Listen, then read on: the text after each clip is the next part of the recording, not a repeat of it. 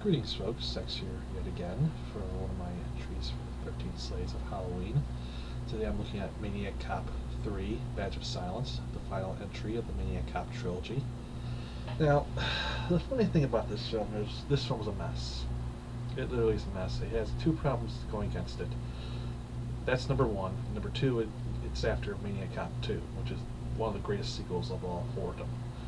I mean, you just you just can't top Maniac Cop 2. I mean, all you can go is down. The quality does go down in this one. I mean, in fact, I mean, they show clips of Maniac Cop 2 for uh, the beginning half of the movie and a lot of other parts of the movie.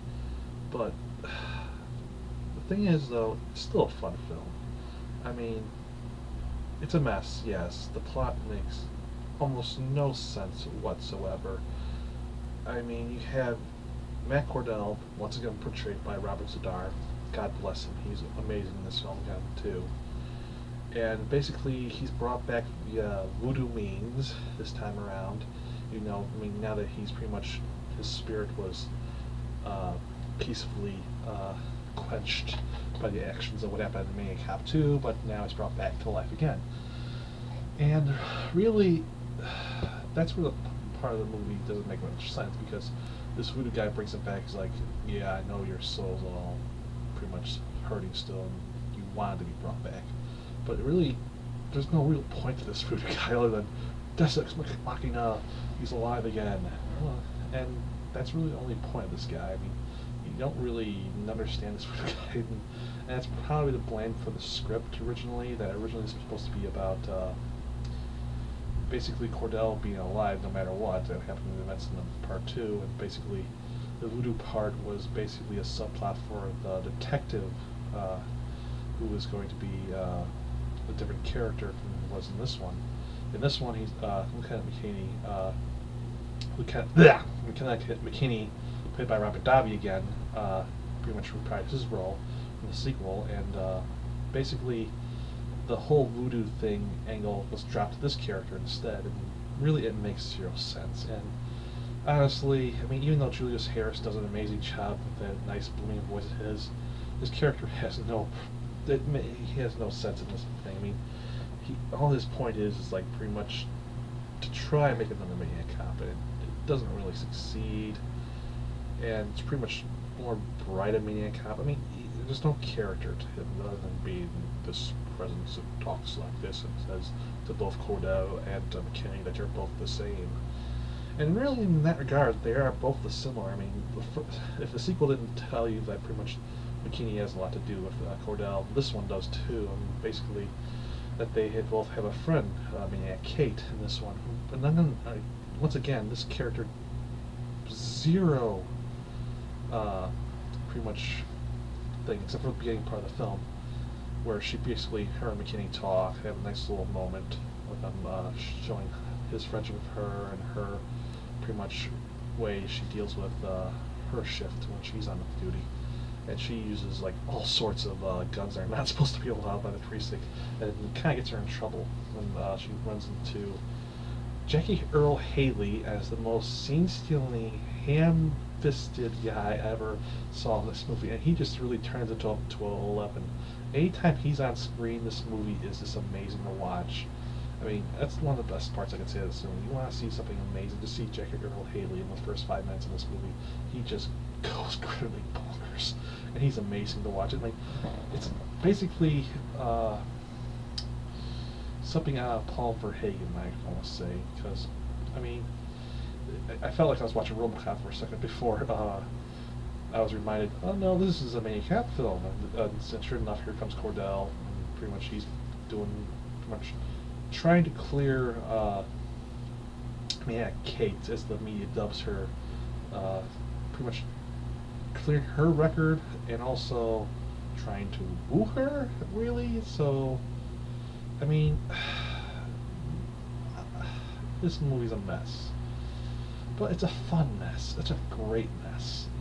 And uh, I mean, the, another good part is Robert Davi again. He reprises his role. He's getting much more meatier stuff to do. I mean, a more active role too. I mean, he's running and shooting. He's pretty much Mr. Man on a, a mission this time around. I mean, he was in the first one, the second one, but basically this one he's more hands-on with his things. And I mean, I like Robert Davi. He's a very good protagonist. I mean, he's very fun in this movie. He's always having a blast. And I mean, this movie does. Mean, like I said, does pretty much show clips of Maniac Cop 2, but it does its own little thing where basically this movie is much more vicious. I mean, it's just one of the most vicious horror movies I've seen in a long time. I mean, the only thing I think that's more vicious than this movie when it comes to uh, the kills is probably. Uh, there was a Tobe Hooper film in the late '70s of crocodiles, and basically there was a scene where that guy gets uh, one of the guys gets a scythe stuck in his neck, and pretty much he's still alive, going oh, before he's finally finished off. I think it's Eaten Alive. I think that's what the name of the movie is. But uh, basically, in this movie, it doesn't happen just once. It happens twice in this movie, and Cordell just goes just nuts on these two characters in this movie. Who, I mean, they really do deserve what's coming to them, but I mean, Jesus, there's just this sadisticness to Cordell this time around. I mean, he just, for one, he pretty much takes a, a heart monitor thing, and he just pretty much just ventilates the guy until he just. And then there's another guy, poor guy, who gets an X-ray machine turned on with no lead to protect him, and oh god, that poor guy. Ouch. How? But there's some other great kills in this. They're pretty much a typical of this series, and that's the uh, pretty much this mouthy uh, goes up to Cordell. just starts just going on this rant saying, "Oh, that cop deserved it. Oh, she just like just just ragging on Maniac Kate. You know who it is, and you're like, okay, Cordell's gonna waste this career. There's no chance this guy's gonna survive that this rant. Sure enough, Cordell just tosses him in the air, and you're like, holy shit! And all of a sudden, he just whips the pistols at their. It's just an amazing kill. I mean, that's this thing I could say about these things. These, these kills in this movie are just amazing, and. I, it, it just goes up to 11 these kills in this one. I mean, that's what I really can say about the series. That every time it, it finds its way to turn up to 11 in certain ways. The sequel, it was the action. It was the uh, pretty much to make you go, holy crap, they killed, oh my god, they killed, oh jeez. And then pretty much this is the way they start going off the action like the pretty much the shootout in the police station. Here, it's more the kills themselves, and also, I mean, Cordell goes a very, he's very well thought in some of these kills too. I mean, like besides the ones I mentioned before, but there's another kill he does the media guys, the uh, this pretty much sleazy media people who uh, ruined Maniac Kid's name in this, and I mean, it's like, how the hell did he? But he, how did he? But uh, I, I just turned the mind off. Like, I'm just, I'm enjoying the ride. I mean besides you have Cordell, you have Robert Davi, you have all these other pretty much character actors. You pretty much have the Agent Johnson reunion from Die Hard. I mean, you have Grand L. Bush with Robert Davi in a scene. it's like I'm just waiting for Bruce Willis or somebody like say, Johnson, Agent Johnson, Agent Johnson, no relation. I'm just waiting for that to happen, but it never happens. But it's a fun little scene between Grand L. Bush and Robert Davi. And also you have Dick. Uh, the lead cop from that, played by uh, what's his face, the guy from Breakfast Club. But he, he again plays an assholey character, and pretty much he does what he does. He's a slimy character in this too, and he's good at this. But really, the real stars of this are Robert Davi, uh, Robert Z'Dar, and basically Jack Earle Haley. I mean, Earle Haley is just so heavy, but he's so good in this. But Robert is really good to root for too. I mean, he's really good in this movie. I mean, if there's anything else to say, Robert Davi in a very protagonist role, this action hero. I mean, there's just, there's a lot of good stuff in this, and the best part I could say about this movie is basically the climax. I mean, you, you think the last one's climax was good? Oh dear God, this one's better. I mean, you think it ends ended like okay, basically, Mad Cop gets on fire and he carries Kate's body and basically boom, that's it. End the movie, right? Rob dives in the ambulance, gets to the girl, just wait for the end, and all of a sudden, here comes Cordell on freaking fire, and he, he's in a police car. He just starts hammering his hand at the freaking window of the ambulance, and he's just possessed this kill McKinney this time around. He's not quiet, going down quietly, and it's an amazing sequence. I think it's like a five ten minute sequence it's an amazing chase sequence. I mean, the stunt work is amazing, and just the fact that this guy's on fire while he's pushing cars around. And then there's this little scene, where the guy pretty much going back to what uh, Z'Dar does with his hands in the movie, and this is a great part where he just taps his hand on car's the wheel. It's like, no, and it like guns it, and it's like, oh god, this is amazing. I mean, that's the best part I could say about this movie. That it's still fun, no matter what. I mean, it's disappointing. It's not better than Maniac Cop 2, but it's still a fun ride. Z'Dar just makes it precious in this.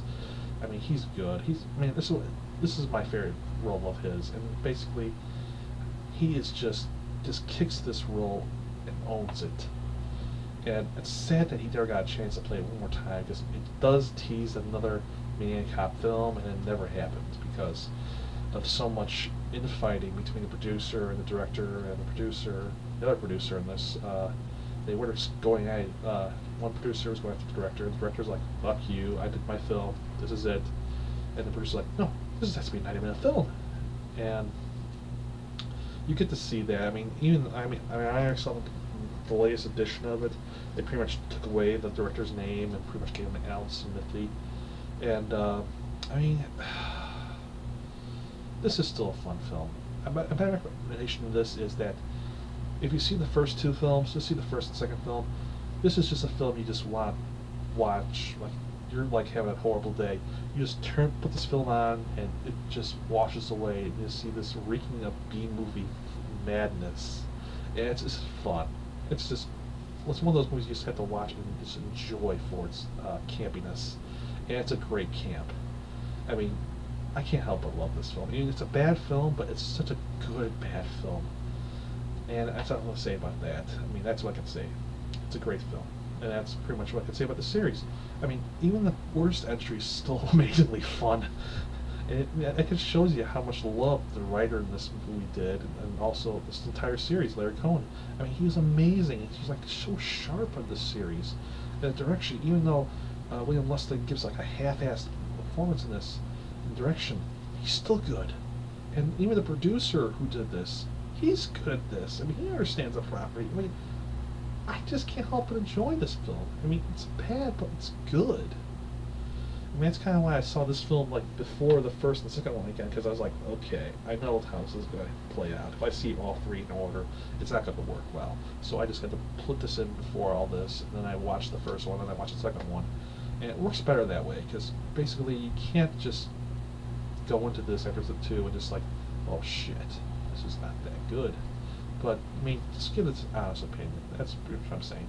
It's a fun film still, and that's all I have to say about today's thing. It, it's fun. Of course, now I'm going into what you guys wanted next time around. Oh dear God. Ooh. I'm gonna be a bumpy ride now, aren't I? Oh boy. Here come the the picks.